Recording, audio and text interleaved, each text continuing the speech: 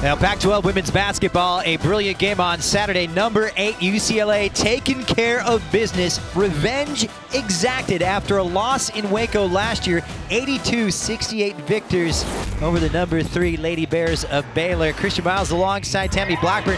Hey, these two teams average over 100 points a game, but defense won this game today. They held Baylor to 68 points, and Baylor on the game shot 40%, a team that comes in shooting 60%. UCLA's defense was on point. Kennedy Burke getting the job done, a well-rounded effort. The back door was flowing.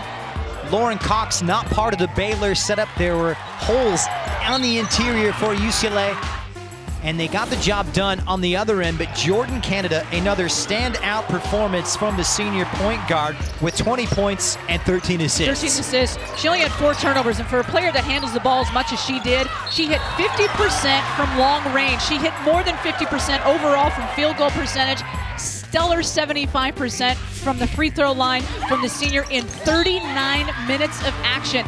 It's not just about those stats, Christian. It's about the way that she reads the game, the way that she moves on the court, her flow, her setting her players up. Mo Billings, how about her? Again, you go back to the defensive highlights, add that one, anticipation. And Billings only had seven points at halftime. She finishes with 21 points and six rebounds. Field goal percentage, we talked about this during the game.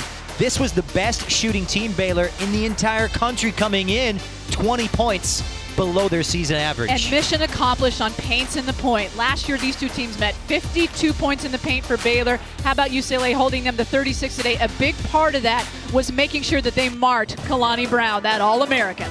Well, no rest for the weary. Coming up on Tuesday night, it'll be UConn, number one team in the country at Pauley, but UCLA 82-68 winners today against Baylor.